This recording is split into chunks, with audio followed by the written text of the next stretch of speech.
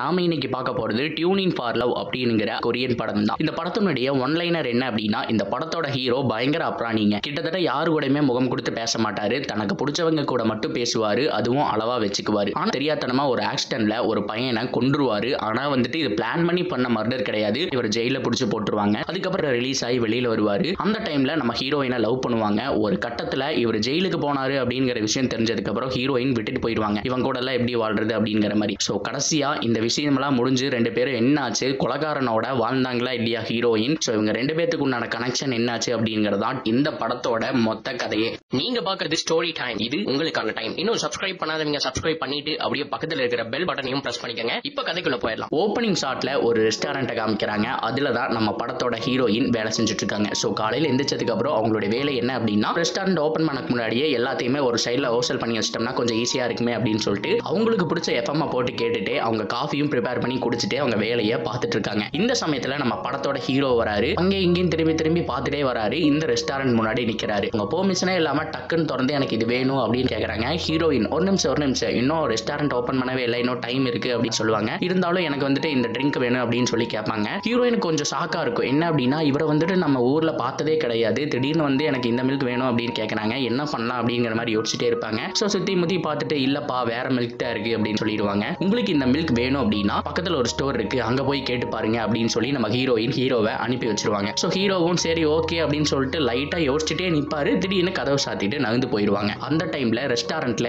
நம்ம ஹீரோயின் கூடயே வேலை செய்யற கேப் டேக்கர் ஒருத்தர் வந்திருப்பாங்க. என்னாச்சு அப்படின்னு சொல்லி கேட்கும்போது இல்ல யாரோ ஒரு ஆள் வந்தாங்க. இந்த மில்க் வேணும் அப்படிங்கிற மாதிரி கேட்டாங்க. அதுதான் நான் போக சொல்லிட்டேன். அங்க பாருங்க கொஞ்சம் டிஃப்ரெண்டா இருக்கிறான்ல அப்படின்னு சொல்லுவாங்க. ஆமா லைட்டா டிஃப்ரெண்டா தான் இருக்கான்னு சொல்லிட்டு அந்த கேர் டேக்கர் உள்ள போயிடுவாங்க அடுத்த சீன் ஹீரோ பக்கத்து ஸ்டோருக்கு போயிட்டு தேவையான பொருள் எல்லாம் வாங்கிட்டு அப்படியே நடந்து வந்துட்டே இருக்கும்போது இந்த ரெஸ்டாரண்ட்டை மறுபடியும் பார்த்துட்டே போவாரு. இந்த டைம்ல என்ன நோட் பண்றாரு அப்படின்னா அந்த ரெஸ்டாரண்ட் முன்னாடி ஒரு நோட்டீஸ் ஒட்டியிருக்கு. அதில் அதுல இந்த கடைக்கு ஆட்கள் தேவை அப்படின்னு ஒட்டியிருக்கு. அதை பார்த்துட்டு ஹீரோ நடந்து போயிடுவார். உடனே ஹீரோயின் இவர் பார்த்துட்டாரு அப்படிங்கிற விஷயம் தெரிஞ்சதுக்கு அப்புறம் அந்த நோட்டீஸை கிழிச்சு தூக்கி வீசிடுவாங்க. அடுத்த ஷாட்ல நம்ம ஹீரோ ஒரு ஸ்கூல் பில்டிங்கோட ஹைட் அதாவது அந்த டாப் இருக்கும் தெரியுமா அந்த இடத்துல நின்று கீழே பார்த்துட்டு இருக்காரு. கிட்டத்தட்ட சூசைட் பண்ணிக்க போற மாதிரியே பார்த்துட்டு இருக்காரு. பட் என்ன ரீசன் அப்படிங்கிறது நமக்கு தெரிய வரல. உடனடியா இறங்கி போக ஆரம்பிச்சிட்டாரு. அன்னைக்கு ஈவினிங் நம்ம ஹீரோ என்ன பண்றாரு அப்படின்னா முட்டையெல்லாம் இருக்கு தெரியுமா செட் செட்டாக இருக்கும் தெரியுமா? அதெல்லாம் தூக்கிட்டு அப்படியே நடந்துட்டு இந்த ரெஸ்டாரண்ட்குள்ளே வராரு. ஒரு நிமிஷம் ஒரு நிமிஷம் இதெல்லாம் நீங்கள் எதுக்கு பண்ணுறீங்க அப்படி கேர் டேக்கரும் ஹீரோயினும் கேட்குறாங்க நம்ம ஹீரோ இருந்துட்டு நான் இந்த கடைக்கு வேலைக்கு சேர்ந்துக்கலான் இருக்கேன். எனக்கு அம்மா அப்பா யாரும் கிடையாது. ஸோ என்னோட டெய்லி ரொட்டீனுக்காவது சம்பளம் வேணும்ல. அதனால தான் இந்த கடைக்கு வேலை செய்யணும். ஸோ எங்கள் ஆளுக வேணுங்கிறத ஒட்டி இருந்துச்சு நீங்கள் கிழிச்சிட்டீங்க அப்படின்னு சொல்லி இந்த கடையில் பர்மனண்ட்டாக வேலைக்கு ஜாயின் பண்ணிட்டாரு நம்ம ஹீரோ ஸோ அடுத்த நாள் காலையில் இவன் நல்லா வேலை செய்வானா என்ன அப்படிங்கிற மாதிரி யோசிச்சுட்டே கேர்டேக்கரும் நம்ம ஹீரோயினும் வெயிட் பண்ணிட்டு இருக்காங்க. ஹீரோ வந்து அப்படியே சோகமாக உட்காந்துட்டு இருக்காரு. தன்னோட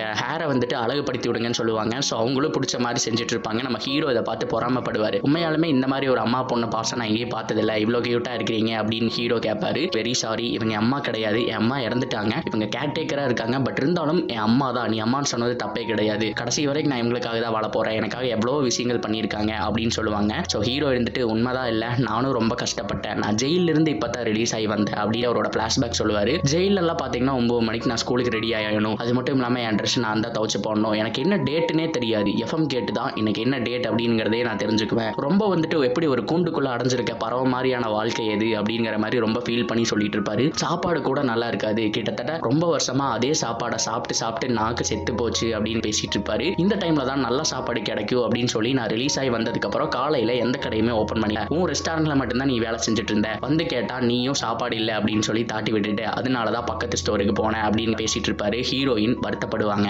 அதுக்கப்புறம் ஒவ்வொரு நாளும் சிறப்பாக போயிட்டு இருக்கோம் ஜெயில இருந்த எல்லா டேஸையுமே நம்ம ஹீரோ மறந்துடுவாங்க முழுக்க முழுக்க சொர்க்கம் மாதிரி அந்த ரெஸ்டாரண்ட்லயே இருப்பாங்க. ஆல்மோஸ்ட் ஒரு நாளைக்கு பத்து மணி நேரம் பதினஞ்சு மணி நேரம் அப்படிங்கிற மாதிரி வேலை செஞ்சுட்டே இருப்பாரு. என்னதான் இருந்தாலும் அவருக்கு தனி வீடு இருக்கு. பட் இருந்தாலும் ரூம் மாதிரி எடுத்து தங்கியிருப்பாரு. இங்க தான் அதிக டைம் ஸ்பெண்ட் பண்ணிட்டு இருப்பாரு மோஸ்ட் ஆஃப் த டைம்ல நம்ம கேர்டேக்கரும் இருக்க மாட்டாங்க. நம்ம ஹீரோ ஹீரோயின் மட்டும்தான் இருப்பாங்க. அதனால ரெண்டு பேரும் நிறைய மனசை விட்டு பேசிக்குவாங்க. ரெண்டு பேரும் ஒருத்தருக்கு ஒருத்தர் பிடிச்சி போயிடும் லவ் யூ அப்படிங்கிற வேர்ட் மட்டுமே சொல்லலையே தவிர மற்றபடி எல்லாமே அவங்க ரெண்டு பேத்துக்கு மனசுக்குள்ள இருக்கும். பட் இருந்தாலும் வெளியே காமிச்சிக்க மாட்டாங்க. மழை வர டைம்ல எல்லாம் எஃப்எம் போட்டுவிட்டு ரெண்டு பேரும் கடைக்கு முன்னாடி இருக்கிற விண்டோவில் உட்காந்து அப்படியே மலையை ரசிச்சுட்டு அந்த எஃப்எம் கேட்டுட்டு இருப்பாங்க. கிறிஸ்மஸ் அன்னைக்கு ஒரு ஈவினிங் வரும். அதனால என்ன பண்ணலாம்? நம்ம கடையை ஃபுல் அண்ட் ஃபுல் டெக்கரேட் பண்ணும் அப்படின்னு முடிவு பண்ணி கிறிஸ்மஸ் ட்ரீ வாங்கிட்டு வந்து வைப்பாங்க. அது மட்டும் இல்லாமல் எப்படி எப்படி கேக்கெல்லாம் புதுசாக உருவாக்கலாம் அப்படின்னு சொல்லி கேக் கேக்கர் வந்து டிசைன் போட்டு வச்சிருப்பாங்க. நம்ம ஹீரோயினுக்கு அதெல்லாம் ரொம்ப பிடிச்சி போயிடும். அந்த டைம்ல நம்ம ஹீரோ வந்துட்டு மேம் இது எங்க எடுத்து வைக்கிறது? மேம் இது இங்க வைக்கலாமா? அப்படின்னு நம்ம ஹீரோயின் பேசிட்டு இருப்பாங்க. ஹீரோயின் தயவு செஞ்சு என்ன மேம் அப்படிங்கிறத கூப்பிடுறத நிப்பாட்டு. உனக்கு எனக்கு ஒரே வயசு தான். அதனால நீ என் பேரை சொல்லியே கூப்பிடு அப்படின்னு ரெண்டு பேரும் போட்டு சிரிக்க ஆரம்பிச்சிருவாங்க. இந்த டைம்ல ரெஸ்டாரண்ட் பக்கத்துல ஒரு கன்ஸ்ட்ரக்ஷன் ஒர்க் ஆரம்பிச்சிருச்சு. நம்ம ஹீரோயினும் அவங்களோட கேரக்டரும் என்ன சொல்றாங்க அப்படின்னா இந்த மாதிரி டைம்ல வியாபாரம் போறது அப்படின்றது ரொம்ப ரொம்ப கஷ்டமான ஒரு விஷயம். காரணம் என்ன அப்படின்னா கன்ஸ்ட்ரக்ஷன் முடிச்சுட்டு எல்லாருமே பெரிய இடத்துக்கு தான் போய் சாப்பிடுவாங்க. நம்ம இடத்துக்குலாம் வர மாட்டாங்க அப்படிங்கிற மாதிரி ஃபீல் பண்ணிட்டு இருப்பாங்க.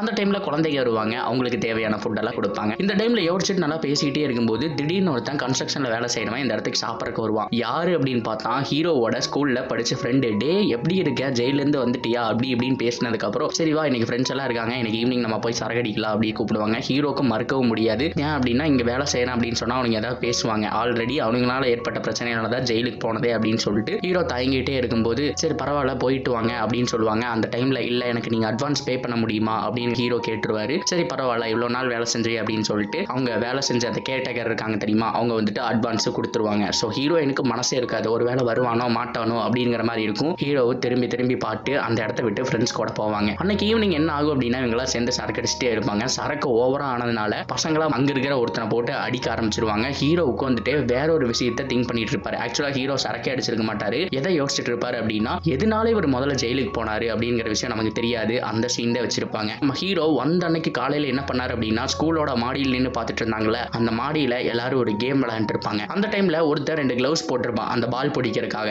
ஆனா அது வந்துட்டு பாக்ஸிங் கிளவுஸ் அவன் எதுக்கு போட்டிருக்கா அப்படிங்கிற விஷயம் தெரியாது. ஆனா அந்த ஷாட் எதுக்காக வச்சாங்க அப்படின்னா ஹீரோ கையில ஒரு கிளவுஸ் இருக்கும் இன்னொரு கிளவுஸோட கீழே விழுந்து செத்து போயிடுவான். இந்த டைம்ல ஃப்ரெண்ட்ஸ் யாருக்குமே தெரியாது. திடீர்னு வந்து பார்க்கும்போது அவன் கீழே விழுந்து செத்து போயிட்டான் இவன் கையில கிளவுஸ் இருக்கு அப்படின்னா என்ன நினைச்சிருப்பாங்கன்னா இவன் தான் தள்ளி விட்டான் அப்படின்னு நினைச்சிருப்பாங்க. ஸோ ஆக்சுவலா என்ன நடந்துச்சு அப்படிங்கிற விஷயம் கடைசி வரைக்கும் சொல்லியிருக்க மாட்டாங்க. ஹீரோ ஒரு நிரபராதி தான். நடந்த விஷயம் என்ன அப்படின்னா ஹீரோ வந்துட்டு அவர் கீழே விழுக போறாருன்னு தெரிஞ்சு காப்பாற்ற போகும்போது ஒரு கிளவுஸை பிடிச்சிருப்பாங்க. கிளவுஸ் டைட் இல்லாதனால கையோட வந்திருக்கும். அதுதான் நம்ம ஹீரோ கையில் இருக்கும். அவன் கீழே விழுந்து செத்து போயிருப்பான். இது தெரியாம ஃப்ரெண்ட்ஸ் எல்லாருமே இவன் தான் தள்ளி விட்டுருப்பான் அப்படின்னு சொல்லிடுவாங்க. அதனால போலீஸ் அரெஸ்ட் பண்ணி போயிடுவாங்க. தேவையில்லாம ஜெயில் தண்டனை அனுபவிச்சிருப்பாரு. இதெல்லாம் முடிஞ்சு வெளியில் வந்ததுக்கு அப்புறம் என்னென்ன நடந்துச்சு அப்படின்னு யோசிச்சு பார்த்துட்டு இருப்பாரு ஆனா ரியல் லைஃப்ல இவனுக்கு என்ன பண்ணிட்டு இருப்பாங்க அப்படின்னா சரக்கு அடிச்சுட்டு ஒருத்தனை போட்டு அடிச்சிட்டு இருப்பாங்க. என்னடா பண்றீங்க அப்படின்னு போய் கேட்கும்போது கால் த காப்ஸ் அப்படின்னு சொல்லிட்டு போலீஸுக்கு ஃபோன் பண்ணிடுவாங்க. மறுபடியும் போலீஸ் அந்த இடத்துக்கு வந்துடுவாங்க. ஏற்கனவே உன் மேல ஒரு கேஸ் இருக்கு. நீ மறுபடியும் இப்படி பண்ணியிருக்கியா அப்படின்னு சொல்லி ஹீரோவை மறுபடியும் ஜெயில போட்டுருவாங்க. கிட்டத்தட்ட ஒரு நாலஞ்சு மாசத்துக்கு. ஸோ இதை அப்படியே கட் பண்ணா ஹீரோயின் நம்ம ஹீரோவை நினைச்சே ஃபீல் பண்ணிட்டு இருப்பாங்க. எவ்வளவு நாளாச்சு அவன் போய்? இன்னும் வரவே இல்லையில. என்ன பார்க்கணுங்கிற ஐடியா கூட அவனுக்கு இல்லை இல்லை அப்படின்னு நினைச்சு ஃபீல் பண்ணிட்டு இருப்பாங்க. ஸோ ரெஸ்டாரண்ட்டும் சரியா ஓடாது. ஸோ என்ன பண்ணலாம் அப்படின்னு சொல்லி கேர் டேக்கர் இருப்பாங்க தெரியுமா? நீங்க செகண்ட் மேரேஜ் பண்ணிக்கோங்க அப்படின்னு சொல்லி ஹீரோயின் வந்துட்டு ஒரு சஜஷன் சொல்லுவாங்க. இவ்வளோ நாள் எனக்காக இருந்திருக்கீங்க. எனக்கு வந்துட்டு வேற ஒரு இடத்துல வேலை கிடைக்கிற மாதிரி இருக்கு. நாங்க போயிடுவேன். நீங்க செகண்ட் மேரேஜ் பண்ணிக்கோங்கன்னு சொல்லிட்டு கேர் டேக்கரையும் போக சொல்லிடுவாங்க. ஸோ அந்த ரெஸ்டாரண்ட்டையும் க்ளோஸ் பண்ணிட்டு ஹீரோயினும் ஹீரோயினோட ஃப்ரெண்டு ஒரு இடத்துக்கு போய் வேலை வாங்கிடுவாங்க. ஹீரோயினுக்கு வந்துட்டு ஒரு ஆஃபீஸில் வேலை கிடைக்கும். ஹீரோயினோட ஃப்ரெண்டு என்ன பண்ணுவாங்க அப்படின்னா ஹீரோயினுக்கு பிடிச்ச எஃப்எம் இருக்கும் தெரியுமா? அந்த எஃப்எம் ஸ்டுடியோலயே ஒரு ஜாப் கிடைச்சிருக்கும். பரவாயில்லடி எனக்கு பிடிச்ச எஃப்எம்ல வேலை செஞ்சிருக்கேன். எனக்கு பிடிச்ச பாட்டெல்லாம் போடு அப்படின்னு சொல்லிட்டு என்ஜாய் பண்ணிட்டு இருப்பாங்க ஹீரோயின் இந்த பக்கம் மறுபடியும் அப்படியே கட் பண்ணா ஜெயில் தண்டனை முடிஞ்சு நாலு மாசத்துக்கு அப்புறம் நம்ம ஹீரோ வந்திருப்பாங்க. ஹீரோ வந்துட்டு எல்லா வேலையும் முடிஞ்சு நம்ம படிப்பு எப்படியே முடிஞ்சு போச்சு. எதை பத்தி யோசிக்க கூடாது சம்பாதிக்கணும்னு சொல்லிட்டு சின்ன சின்ன வேலைகளை செஞ்சுட்டு இருப்பாரு இந்த டைம்ல கேர்டேக்கருக்கு இப்போ ரீசெண்டாக கல்யாணம் ஆச்சு இல்லையா? செகண்ட் மேரேஜ் ஒருத்தர் கூட அவரை போய் பார்த்துட்டு அப்படியே அவங்களோட நியூ ரெஸ்டாரண்ட் ஆக்சுவலாக அவரும் ரெஸ்டாரண்ட் தான் வச்சிருக்காரு. அப்படியே போய் அங்கேயே சாப்பிட்டு ஹீரோயின் நல்லா பாசமா கொஞ்சிட்டு எப்படி இருக்கீங்க அப்படின்லாம் கேட்டுட்டு நலம் விசாரிச்சுட்டு வந்துட்டு இருக்காங்க இந்த டைம்ல ஹீரோ என்ன பண்றாரு அப்படின்னா ஆல்ரெடி ஒரு வேலை செஞ்சுட்டு இருக்காரு இல்லையா அவங்க ஒரு வேலை சொல்றாங்க. இந்த பாட்டிக்கு வந்து உடம்பு முடியல நடக்க முடியாது. தயவு செஞ்சு நீ முதுகில் தூக்கிட்டு போய் இவங்க வீட்டில் விட்டுறையான்னு கேட்கறாங்க இதுக்கு என்ன அஃப்கோர்ஸ் நான் பண்றேன்னு சொல்லிட்டு ஹீரோ எதுக்குமே தயங்காம அந்த பாட்டியை தூக்கி நடந்து போயிட்டு இருக்கும்போது ஹீரோயின் ஆப்போசிட்ல வராங்க. ஹேய்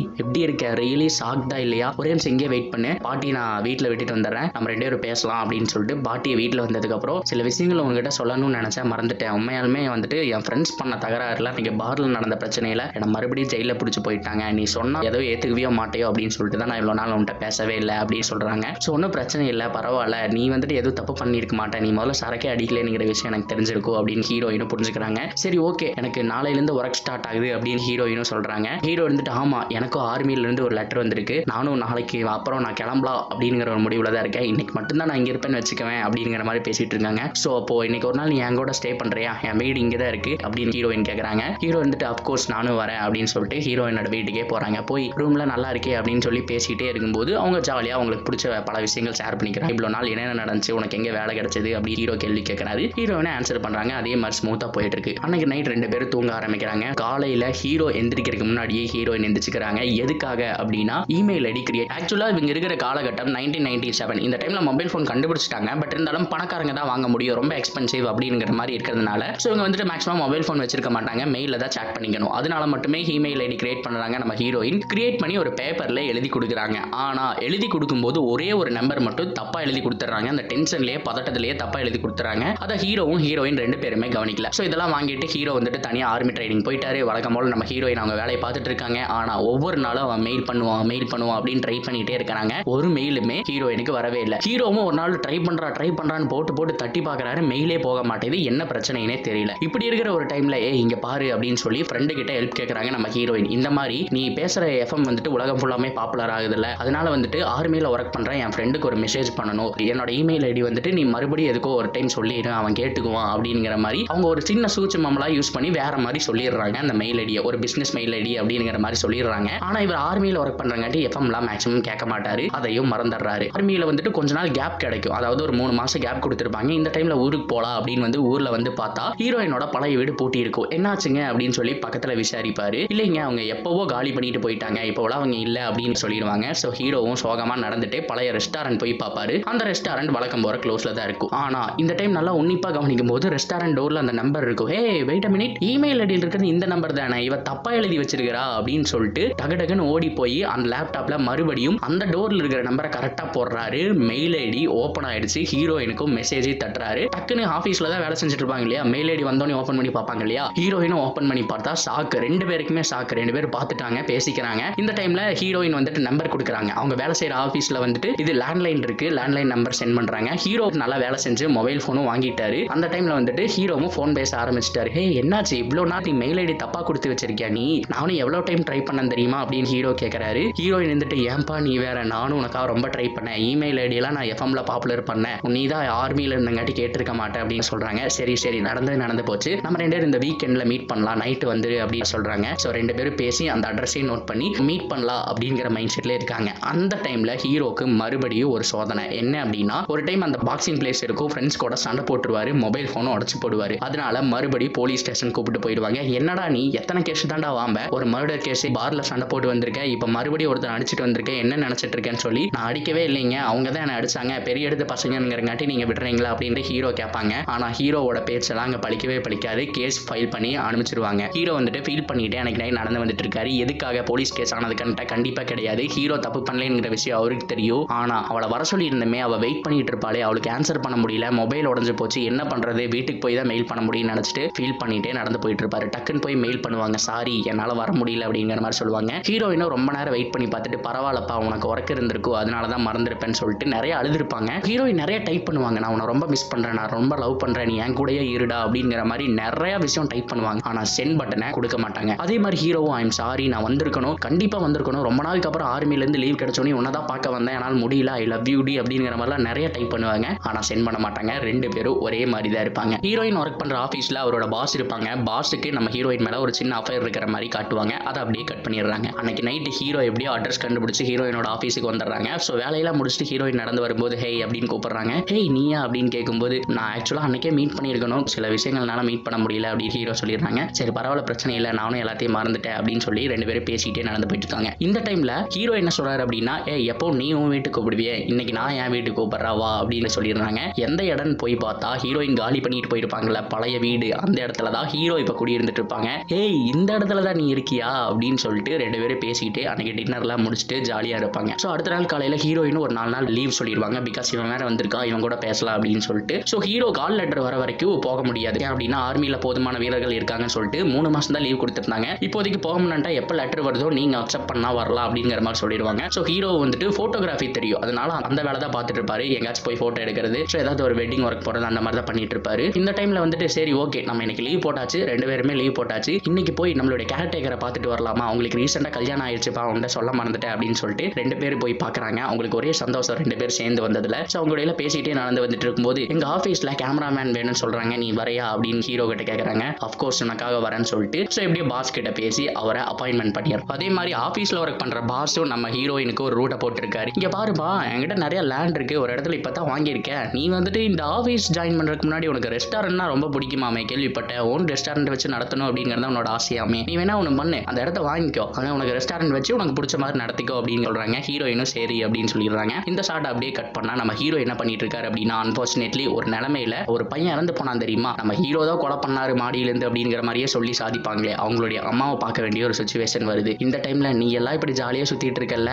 என் பையன் பையன் செத்து போயிட்டான்ல. என் பையன் இருந்தனால உன்ன மாதிரி தாண்டா இருந்திருப்பான். இவ்வளோ ஹைட் வளர்ந்துருப்பான் வேலைக்கு போயிருப்பான் அம்மாவை பார்த்துருப்பான். இன்னைக்கு அவனை கொண்டு போட்டு நீங்க ஜாலியா இருக்கிறீங்களா அப்படிங்கிற மாதிரி பேசிடுவாங்க. நம்ம ஹீரோக்கு மனசே இருக்காது. நான் அவனை கொலை பண்ணல அப்படின்னு சொல்லவே முடியாது. ஏன் அப்படின்னா எந்த ப்ரூஃப்மே இல்லை. இவரோட கையில கிளவுஸ் இருக்கு அவன் கீழே விழுந்திருக்கானா இவன் தள்ளி விட்டானுங்கிறதா அர்த்தம் அப்படிங்கிற மாதிரி தான் எல்லாம் நினைச்சிட்டு இருப்பாங்க. அந்த டைம்ல சோகமா நடந்து போயிட்டு இருப்பாரு நம்ம ஹீரோ இந்த டைம்ல ஹீரோயின் கால் பண்ணிட்டே இருப்பாங்க எடுக்கவே மாட்டாங்க. கார்ல வந்துட்டு அவங்க ஃப்ரெண்ட்ஸ் வெயிட் பண்ணிட்டு இருப்பாங்க. அந்த இடத்துல தான் மொபைல் ஃபோன் இருக்கும். ஹீரோ வெளியே நின்று இருப்பாரு. சரி யாரா கால் பண்றான்னு சொல்லிட்டு ஃப்ரெண்ட் எடுத்து பேசுவான். அதாவது நம்ம ஹீரோ ஹீரோவோட ஃப்ரெண்ட் எடுத்து பேசுவான். ஹீரோயின் வந்துட்டு கால் பண்ணிட்டு இருப்பாங்க ஆ என்ன பண்ணிட்டு இருக்க அப்படிங்கும் போது அவன் வெளியில் இருக்கான். அவன் இறந்து போனான் தெரியுமா? அந்த பையனோட அம்மா பார்க்க வந்திருக்கான்னு சொல்லி உண்மையா உளறிடுவான். எந்த பையன் என்ன ஏது அப்படின்னு கேட்கும்போது தான் எல்லா உண்மையும் இவன் எதுக்காக ஜெயில் போனா யாரை கொலை பண்ணானுங்கிற மாதிரி சொல்லிடுவாங்க. ஹீரோயினுக்கு எல்லாமே தெரிஞ்சு போயிடும். ஸோ சோகமா நடந்துட்டு இருக்கும்போது ஏன் இந்த உண்மையை மறைச்ச? அப்படிங்கிற மாதிரி ஹீரோயின் ஒரு கட்டத்தில் ஹீரோ கிட்ட கேட்கறாங்க அந்த டைம்ல உனக்கு தெரிஞ்சு போச்சா? அப்படின்னு கேட்கும்போது ஆமா அவன் ஃப்ரெண்டு தான் சொன்னான்னு சொல்லும்போது. ஸோ ஹீரோ என்ன பேசுறதுனே தெரியாம அந்த இடத்த விட்டு போயிடுறாங்க. ஃப்ரெண்டை போட்டு ஒரு டைம்ல அடிக்கிறாரு. சரி இவனை அடிச்சு என்ன பிரயோஜனம்? எல்லாம் என் விதி. என் விதியில் என்னென்ன நடக்கும்னு எழுதியிருக்கோ அதெல்லாம் நடக்கும். எத்தனை கேஸ்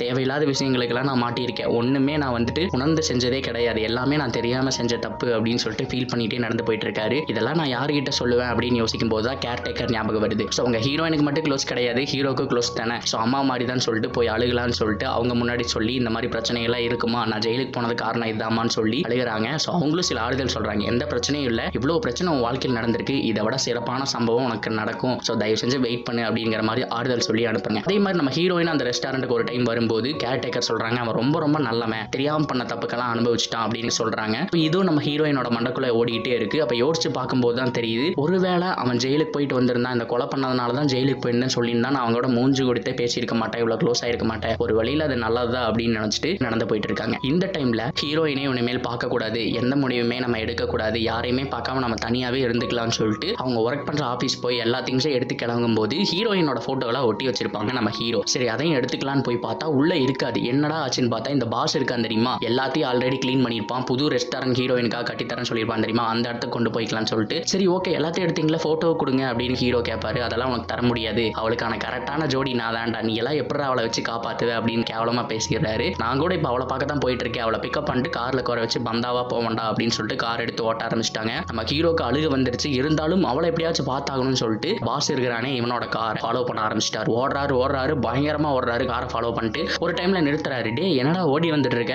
அந்த அளவுக்கு உனக்கு நம்பிக்கையா லவ்வா என்னதான் இருந்தாலும் நான் தாண்டா கல்யாணம் பண்ணிக்குவேன் அப்படின்னு சொல்லிட்டு மறுபடியும் ஓட்டுறாரு. மறுபடியும் காரை ஃபாலோ பண்ணிட்டு ஓடிட்டே இருக்கிறாரு. ஒரு சமயத்துல ஹீரோயின் காருக்குள்ள ஏறிட்டாங்க. ஏறி கொஞ்சம் தூரம் போகும்போது தெரியுது கண்ணாடி வழியா பார்த்தா இவன் ஓடி வந்துட்டு இருக்க விஷயம் தெரியுது. காருக்குள்ளேயே அழ ஆரம்பிச்சிடுறாங்க. ஸோ பாஸ் பார்த்துட்டு நான் பேசாம நிறுத்துட்டுமா? அப்படின்னு கேட்குறாங்க கார் நிறுத்ததுக்கு அப்புறம் நம்ம ஹீரோயின் போய் பேசுறாங்க. தயவு செஞ்சு என்னை பார்க்க வராத. எனக்கும் மனசு கொஞ்சம் கஷ்டமா இருக்கு. நீ இந்த மாதிரிலாம் பண்றது அப்படின்னு சொல்லியிருந்தாங்க. ஹீரோவும் அந்த இடத்த விட்டுட்டு அழுதுட்டு கிளம்பிடுறாங்க. இந்த டைம்ல ரொம்ப டிப்ரெஷனா இருக்கும்போது ஹீரோயின் என்ன பண்ணுவாங்க? வழக்கம் போல கேர்டேக்கர் பார்க்க போறாங்க. இந்த மாதிரி பிரச்சனைகளை மறுபடியும் சொல்லும்போது நல்லா ஞாபகப்படுத்திப்பாரு. எதையுமே அவன் தெரிஞ்சு செய்யல. தெரிஞ்சு செஞ்சிருந்தா இவ்வளவு நல்லவனா நம்ம கூட இருந்திருப்பானா? எப்பாச்சும் எப்பாச்சும் பெர்மிஷன் எல்லாம் உன்னை தொற்றுப்பானா? அப்படிங்கிற மாதிரி சொல்றாங்க. ஹீரோயினுக்கு வந்துட்டு அப்பதான் எல்லாமே புரிய ஆரம்பிக்குது. சிரிச்சுக்கிட்டே அந்த இடத்த விட்டு நகர ஆரம்பிக்கிறாங்க. அப்படியே கட் பண்ணா நம்ம ஹீரோக்கு வேலை கிடைச்சிருச்சு. எங்க அப்படின்னா ஹீரோயினுக்கு ரொம்ப ரொம்ப பிடிக்குமே. அந்த எஃப்எம் ஸ்டேஷன்ல வேலை செஞ்சுட்டு இருக்காரு. ஒரு லைவ் ப்ரோக்ராம ஷூட் பண்ணணும். ஆர்ஜே வந்துட்டு பேச ஸ்டார்ட் பண்ணிட்டு இருக்காரு அந்த டைம்ல ஆர்ஜே ஒரு ரிக்வஸ்ட் கேட்கணும். ஆக்சுவலா மக்கள் கிட்ட தான் கேட்கணும். அந்த டைம் வந்துட்டு லைவ் ப்ரோக்ராம் கிடையாது அப்படிங்கிறதுனால கேமராமேன் அதாவது நம்ம ஹீரோவை பார்த்து கேட்கறாரு உனக்கு என்ன பாட்டு பிடிக்கும்? அப்படின்னு கேட்டா எனக்கு இந்த மாதிரி ஒரு லவ் சாங் ரொம்ப பிடிக்கும் அப்படின்னு சொல்றாங்க. அந்த சாங் நம்ம ஹீரோயினுக்கு ரொம்ப ரொம்ப பிடிச்ச சாங் அது ஹீரோவுக்கு பிடிக்கும். ஸோ அதனால இந்த சாங் ப்ளே பண்ணுங்கன்னு சொல்றாங்க. அந்த லைவ் ப்ரோக்ராமே ஷூட் பண்ணி நம்ம டிவியில் டெலிகேஸ் பண்ணும்போது நம்ம ஹீரோயின் ஹெட்ஃபோன்ஸ்லாம் போட்டு அதை பார்த்துட்டு இருக்காங்க. இது எனக்கு பிடிச்ச சாங் அவன் தான் ஷூட் பண்ண சொல்லியிருப்பான்னு தெரிஞ்சதுக்கு அப்புறம் ஹெட்ஃபோன்லாம் கழட்டிட்டு ஓட ஆரம்பிக்கிறாங்க. போய் பார்த்தா அந்த இடத்துல நம்ம ஹீரோ இருக்கிறாங்க. கொஞ்சம் தூரம் ஓடி வந்ததுக்கு அப்புறம் நம்ம ஹீரோ நின்று இருக்காரு கேமரா வச்சுட்டு நீங்க வருவேன் எனக்கு தெரியும் அப்படிங்கிற மாதிரியே கண்ணாடிக்குள்ள நம்ம ஹீரோ இருக்கிறாரு. வெளியில நம்ம ஹீரோயின் இருக்காங்க. ஹீரோயின் ஹாய் எப்படி இருக்கு? அப்படின்னு கை காமிச்சிட்டு சூப்பர் அப்படிங்கிற மாதிரி காமிக்கிறாங்க. எதுக்காக அப்படின்னா வேலை செஞ்சிருக்காரு. அது மட்டும் இல்லாம மிகப்பெரிய இடத்துல கிடைச்சிருக்கு. ஸோ பாட்டு ப்ளே பண்ணியிருக்காருல்ல அதனால ஹீரோவும் ஹீரோயினை அழகா ஒரு போட்டோ எடுக்கிறாங்க. அதோட ஹாப்பி எண்டிங்கா படம் முடிவுக்கு வருது. வீடியோ பிடிச்சிருந்தா லைக் பண்ணுங்க. மறக்காம சப்ஸ்கிரைப் பண்ணுங்க. தேங்க்யூ